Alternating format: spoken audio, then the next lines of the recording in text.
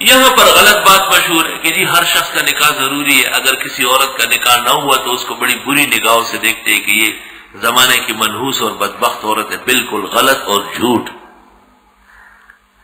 نکاح سنت ہے، لیکن اگر حالات درست نہ ہو اسباب راس نہیں آئے اور عفت اور پاک دامنی کے ساتھ کوئی بغیر نکاح کے رہا، شیخ زائد الکوسری کے علوم کے امین شیخ عبد الفتح ابو غدر رحمت اللہ علیہ نے مستقل کتاب لکھی ہے العزوب العزوب آج کہتے ہیں اس شخص کو جو بغیر نکاح کے رہا ہو۔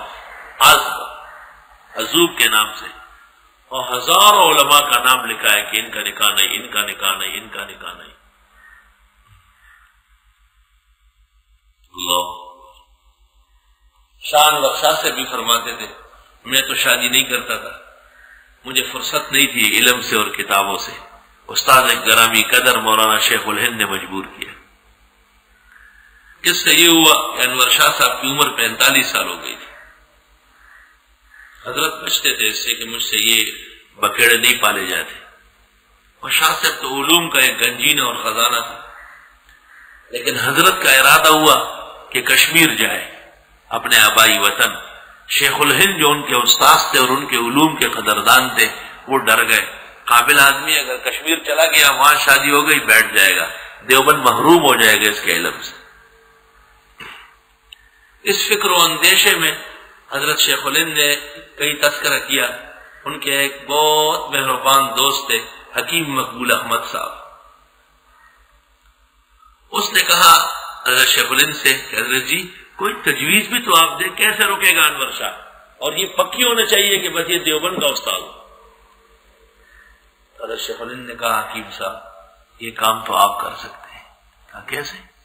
کہا، آپ کے گھر میں جوان لڑکی ہے اور میں نے سنا ہے، کوئی رشتہ نہیں ہوا ہے۔ کہا ہاں، بالکل صحیح ہے۔ جوان ہے اور کوئی رشتہ نہیں ہوا۔ اگر یہ اگر انور شاہ کے لیے کر لے تو کیسا؟ بالکل اجازت ہے۔ یہ کہہ کر حضرت شیخ الہند نے کسی کو کہا طالب علم سے، بھائی فلان درسگاہ میں مولوی انور شاہ پڑھا رہے ہیں، بلا لو. اس طرح تو نکاح ہوا ہے۔ استاذ پر اعتماد جیسے ان بزرگوں کا تو مثال نہیں ہے۔ شاہ صاحب سبق پڑھا رہے تھے، لڑکا آیا جی حضرت شیخ الہند بلا رہے سبق بند کر کے باہر آ گئے۔ بیٹھ بیٹھ گئے یہ حکیم مقبول احمد صاحب کی لڑکی اتنے مہر پر میں نے آپ کے نکاح میں دیا ہے، کہو کہ میں نے قبول کیا ہے حضرت شاہ صاحب نے کہا میں نے قبول کیا استاد کا حکم ہے کیا کرے؟ گلاس سے اٹھا لایا۔ حکیم صاحب یہ انور شاہ فلان کا بیٹا ہے اتنے مہر پر اس کو آپ نے اپنی لڑکی راضی خوشی سے دیے جی دیے دعا خود میں پڑھ کر کے دعا کی۔ چلو سبق پڑھو اس طرح نکاح ہوا ہے۔ اللہ آسمان و زمین نے اپنے اساتذہ اور مشائق پر ایسا اعتماد دیکھا۔ اس لیے کوئی درس کامیاب نہیں جب تک مولانا انور شاہ کا نام نہ یاد رکھنا۔ اس عالم کے علم کو علم نہیں سمجھا جائے گا۔ جو شاہ صاحب کے علوم سے واقف نہ ہو۔ ایک سند ہے علم۔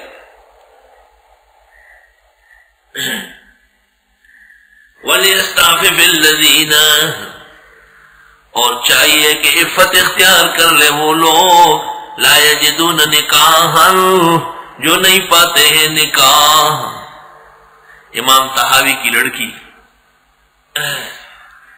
اس نے یہ شرع مانی الاثار لکھی ہے۔ حضرت لکھواتے تھے، وہ کاتبہ تھی غیر شادی شدہ۔ اور ایک جگہ ایسی آ رہی تھی کہ امام تحاوی کا خیال تھا کہ یہ جگہ میں خود لکھ دوں گا۔ اس میں جمع مانسا کا تذکرہ ہے کہ کس کس طریقے سے مرد بیوی سے مل سکتا ہے۔ تو امام تحاوی بے خیالی میں حدیث املا کر رہے تھے اور وہ لکھتی گئی۔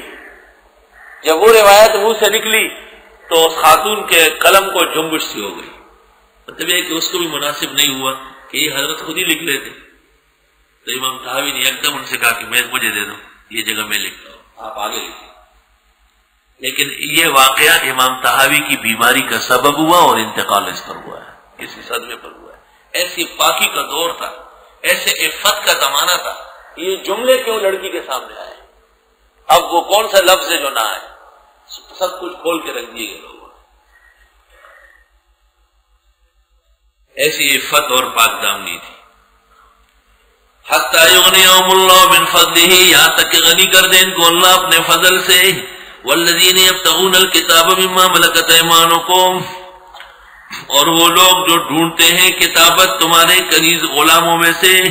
اگر کوئی غلام کنیز کہے کہ ہم سے کتابت کر لو اتنی مدت میں ہم پیسے ادا کر لیں گے، میں آزاد کرو تو کر لو فکاتبوہم بس ان کے ساتھ کتابت کر لو۔ ان علم تم فیم خیرہ اگر تم جانتے ہو ان میں خیر، پہلے نکاح کا ذکر تھا، اب کتابت کا یکدم آ گیا۔ اس طرح بغیر نکاح کے ماحول خراب ہو سکتا ہے۔ اس طرح غلام اور کنیزوں کے ہوتے ہوئے ماحول کمزور ہوگا۔ جتنا جلدی یہ نکلے تو اچھا ہے۔ یہ۔ وَآتُوهُمْ مِمَّا لِلَّهِ الَّذِي آتَاكُمْ دے دو ان غلام کنیزوں کو اللہ کے دیے ہوئے مال میں سے. بلا تکری فتحت کمل البغائے مت مجبور کرو اپنی لڑکیوں کو بدفیلی پر.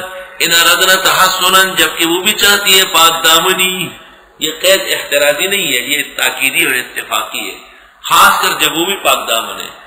مکہ مکرمہ کے اندر بعض ظالم ایسے تھے جنہوں لڑکیاں پالی تھی اور وہ ان سے کام کرواتے تھے اس طرح، ان کے رد میں ہے تب تب عورت الحیات دنیا تاکہ ڈھونڈو سامان دنیا کی زندگی کا۔ ہننا جس نے مجبور کیا ایسی بیویوں کو۔ فإن اللہ من بعد اکرائہن غفور رحیم بس بے شک اللہ ان کو مجبور کرنے کے بعد بھی بخشنے والا، رحم والا ہے یعنی ایمان لانے کے بعد۔ وَلَقَدْ أَنزَلْنَا إِلَيْكُمْ آيَاتٍ مُبَيِّنَاتٍ۔ اور یقیناً اتارا ہم نے تمہاری طرف آیت واضح قاری صاحب کو رات کوئی سے مغالطہ ہو گیا، وہ آگے چلا گیا۔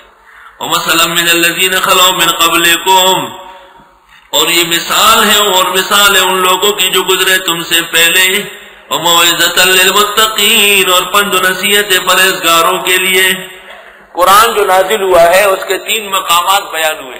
ایک تو آیات مبینات ہے مضامین واضح ہے دوسرے گزشتہ لوگوں کے احوال ہے اور تیسرے احکام اور ہدایات ہے لتقوا مفسرین لکھتے ہیں، یہ آیت تمہید ہے، اگلی آیت۔ مضمون اس آیت میں واضح کرنا ہے۔ اللہ اکبر۔ استغفر اللہ ولیستعفف الذین اور چاہیے کہ پاک دامنی اختیار کر لے وہ لوگ۔ لائے جدون نکاحن جو نہیں پاتے ہیں نکاح۔ وہ پہلی شکل تو کہ نکاح کرو، جلدی کرو، سب کی کرو۔ سب کی کرو اور کوشش کرو، بہت بڑا ثواب اور عبادت ہے۔ اب دوسری صورت یہ کہ تمام کوششوں کے باوجود، تمام اسباب کے باوجود اگر اتفاق سے دیر لگی، پھر کیا کرو گے؟ فرمایا، عفت اختیار کر لے، پاک دامن بنے۔ وہ لوگ جو نہیں پاتے ہیں نکاح، صبح سرحد میں، بعض اونچے گرانوں میں، ایک نہ ایک عورت بغیر نکاح کے بیٹھی ہوتی اور وہ پورے خاندان پر حکومت کرتی ہے۔ وہ عورت ایسی نہیں ہوتی وہ سب جگہوں میں نہیں جاتی جس جگہ وہ جاتی ہے وہاں مرد کا نام و نشان نہیں ہوگا۔ اس کو پاک بی بی کہتے ہیں۔ مشرا پاک بی بی دو فلان کا ہی پیغ لڑا دی دلتا۔ لانے لگا نقل بڑوں کو سوری گی۔ اور اس کو ساتھ آنے جانے والی دس پندرہ اس طرح مقدس عورتیں ہوتی اور مشورہ دا چوکڑی پہ غلطوب نہ داؤ کی کازے توب۔ اور وہ اتنی عقل مند اور پاک دامن ہوتی ہے جیسے وقت کا قاضی۔ اس کا فیصلہ ہر پہ آخر سمجھا جاتا ہے۔ اور پورا گھرانہ خاندان اس کے حکم پہ چلتا ہے۔ سب اس کا احسان مانتے ہیں کہ اس نے ہمارے ہاں اپنی عفت اور پاک دامنی کو برقرار رکھا ہے۔